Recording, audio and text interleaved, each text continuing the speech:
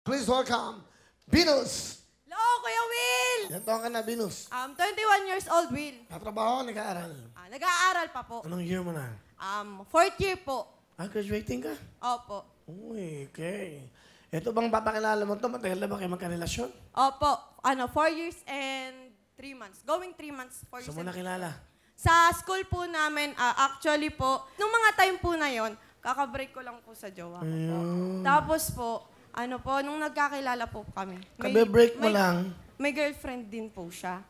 Ah, Tapos po, parang naging close kami, as close as Pero best alam mo friend may po. girlfriend siya. Opo. Pero alam ko po na may limitation po as friends lang po kami talaga. Ah, ganun lang. Opo. Sige, sige, pakilala mo na. Exciting to. Yeah.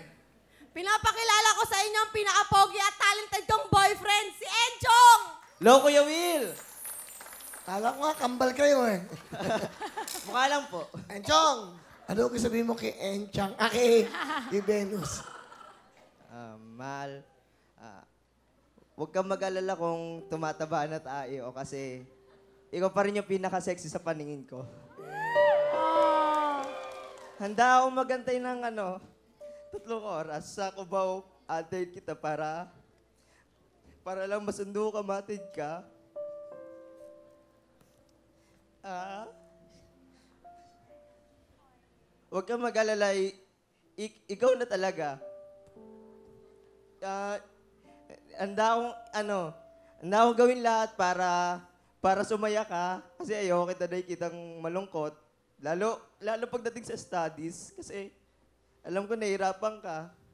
Tsaka, mas sumaya yung buhay ko kasi bilang musikero, masaya ako kasi yung naging girlfriend ko musikero din. Mahal na mahal kita. Lagi mo tatandaan yan. Mapapagod ako pero di kita susukuan.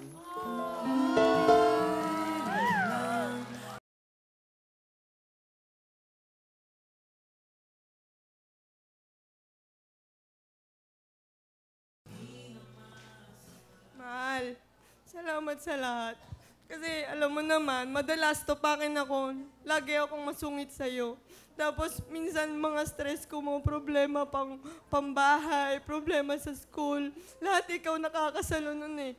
Lahat, lahat iniintindi mo. Hindi mo pinapakita sa akin na, na ano ba to, parang paulit-ulit na lang na ganito. Andyan, ikaw yung nagsilbing tatay ko sa labas. Ikaw yung nagsilbing kapatid ko, naging best friend ko. Napapagsabihan ko ng mga problema ko. Alam kong stress ka rin. Stress ka rin sa, pa- sa pamilya nyo. Tapos, stress din ako, pero nagagawa mong i-handle yung sarili ko. Alam kong mahirap kasi madalas ako talaga yung pinaka-pride sa ating dalawa.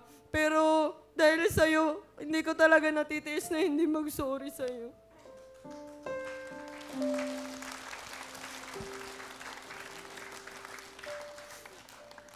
Lagi mong tatandaan na kahit madalas late ako pag sa Cubao, nandito pa rin talaga ako. Lagi kitang mamahalin, walang magbabago. Alam kong ikaw at ikaw na. Alam mo yan, lagi kong sinasabi sa'yo yan. Palapakan po natin, Venus at si Enchong. Tunay na pagmamahal. 10,000! You will!